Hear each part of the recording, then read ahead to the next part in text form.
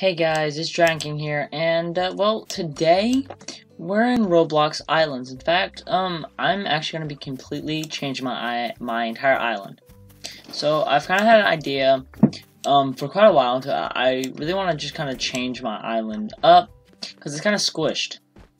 There's so much new stuff in, in the islands that I really want to experience and I really want to do. So I've decided to kind of make this kind of like a little mini series. Different parts of how I'm going to build my base.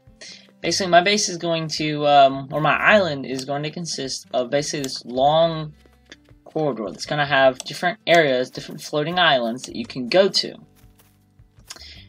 And it's going to have like some of my farms, like my um, red bronze farm, my oil farms, and stuff like that.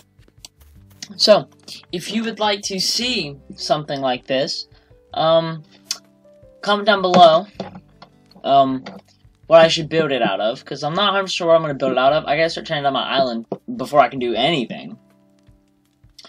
And then, uh, don't forget to like and subscribe. And uh, we should be having a shout out video for those uh, for those people who uh, donated uh, to Banana on uh, Jailbreak. And yeah.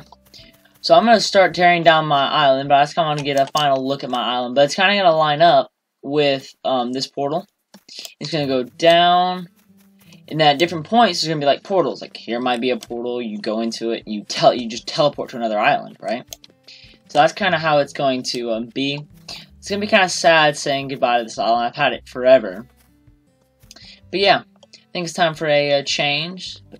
So yeah if you guys uh, would like to see more.